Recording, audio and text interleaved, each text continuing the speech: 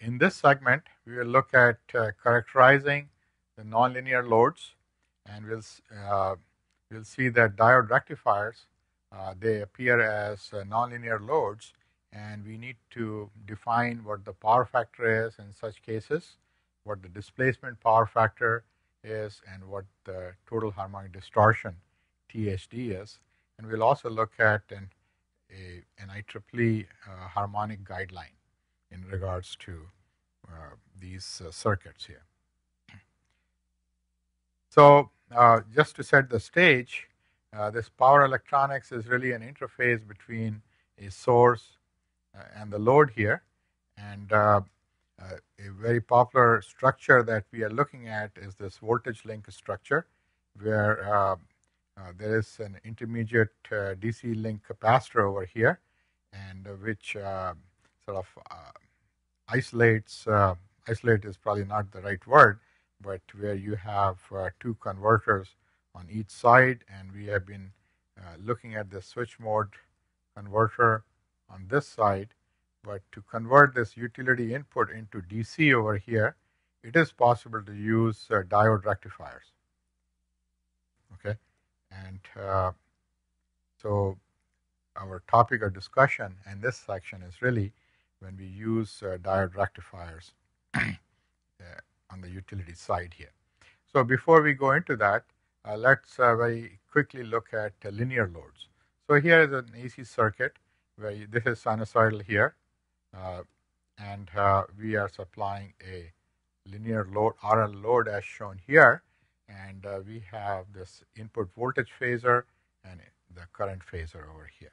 So in this circuit, we know that the, the power the real power is given by the RMS value of the voltage, RMS value of the current, times the cosine of the angle phi, which is the angle by which the current phasor is lagging, right?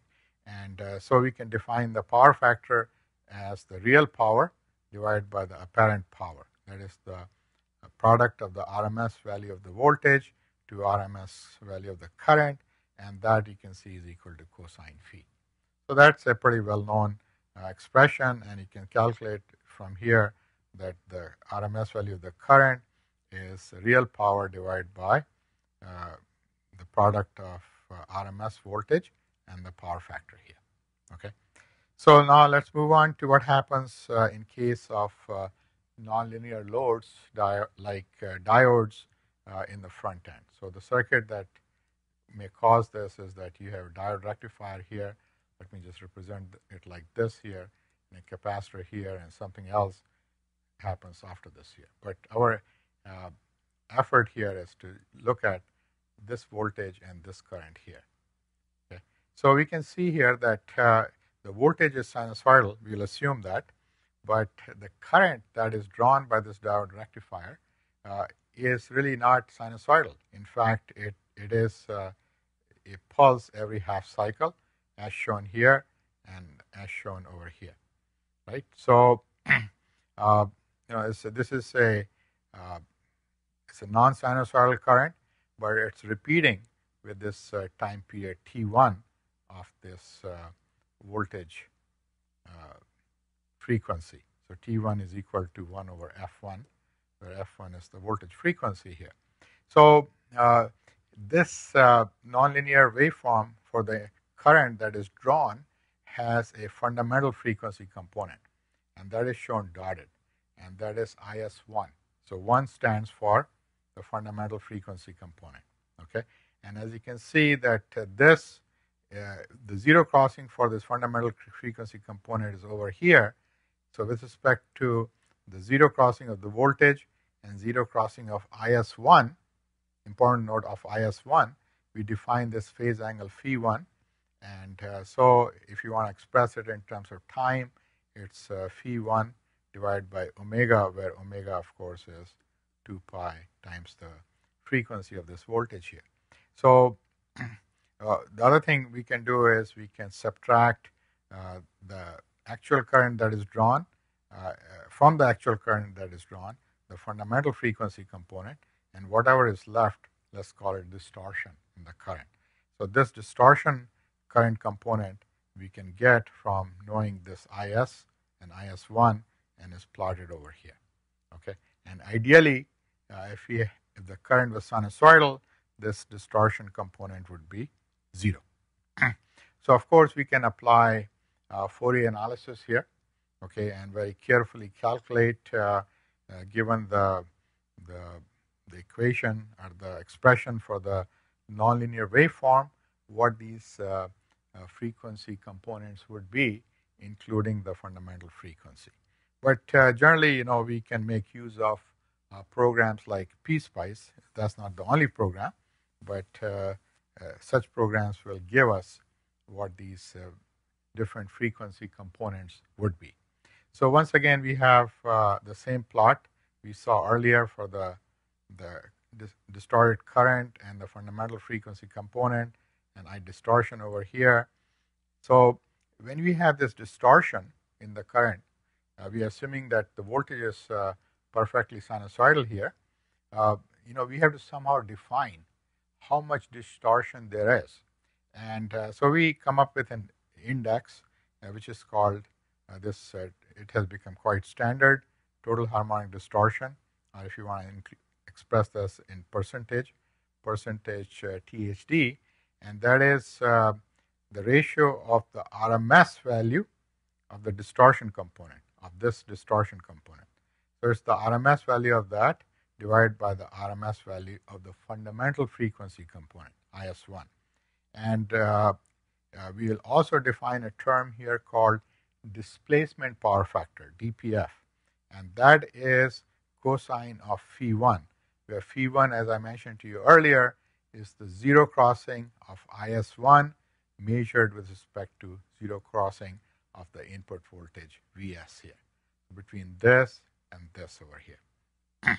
okay, and since uh, all of these are uh, at different frequencies, uh, see this I distortion is made up of uh, many higher order uh, harmonic frequencies uh, so we can say that uh, we can show very easily that the RMS value of the total current which is drawn, RMS value of IS, is equal, uh, can be given by the square of the fundamental frequency component plus the square of the distortion uh, frequency component and then the square root of the sum here, like this here. So that's one expression here. And uh, the real power uh, is only transferred by the fundamental frequency component. So if, uh, of the current, I should say, if you assume that the input voltage is sinusoidal here. So only IS1 and uh, how much it's displaced with respect to the voltage waveform uh, together determine what the real power is transferred in this circuit. Okay. So, so we have another equation here, and then uh, the definition of power factor remains the same as in case of a linear load, which is the uh, total power, the real power, I should say, is the real power divided by the apparent power, uh, which is uh, Vs times Is. So let me just put it here, Vs on the top and Vs at the bottom here. So this is the apparent power and this is the real power here in the numerator here. But Vs and Vs cancel out. So we, what we are left with is this displacement power factor and the ratio of IS1 over IS. And you can show that uh, IS1 over IS can be uh, is equal to 1 over this denominator over here. So, uh, I, you know, in the next slide, we'll write that down here that uh, the power factor over the displacement power factor from the equation that we saw earlier is given by this and uh, you can see here that uh, uh, we can plot this ratio of power factor to displacement power factor as a function of percentage THD. Uh, you can immediately recognize when the percentage THD is zero means the current drawn is perfectly sinusoidal, in that case, there is no distinction between power factor and displacement power factor, and uh, that ratio is equal to 1. But as the distortion increases, uh, this ratio becomes smaller and smaller. So displacement power factor may be high, but uh, the power factor can uh, will keep on decreasing if the distortion is increasing.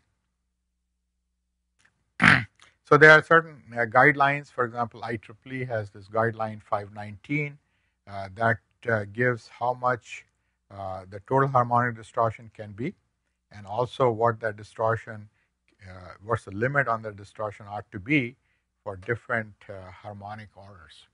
Okay, and that is given in this table, and you know th th this is given in terms of the short circuit current capacity divided by the, the fundamental current that is drawn by this circuit in which uh, the current uh, distortion is appearing. So what is the definition of this uh, short circuit current? Well, uh, you know, let's say that uh, uh, this is the supply voltage that is coming can be represented by this circuit. It's really not an ideal voltage source. It has some internal impedance Z Z sub S right here. So uh, the short circuit current is defined if you put a short over here, as we have done here, what current would flow, that determines the short circuit current in this uh, in the source. And uh, so the, the the limits. Let me erase everything here if I can. Maybe that doesn't work, but uh, the ratio of the short circuit current to I1 uh, for different values, the total harmonic distortion, and uh, how much is allowed for different harmonic orders, uh, those things are given here. So when, when you, you, can see that when this ratio is uh, very high, greater than 1000, we are talking about a very stiff input voltage source where the internal impedance is very small and therefore higher uh, THD is allowed, whereas uh, when this ratio is just uh, uh slightly over uh, 20 or less than 20, uh, then actually less than 20 here, then only 5% is allowed here. So, you know, not knowing what this short circuit current would be for a given system, quite often this number is taken as the, the limit uh, below which the total harmonic distortion should remain. So that is what is shown uh, in this slide here, and uh, some uh, some interpretation of this table uh, is given here. so this brings us to the summary of this uh, segment.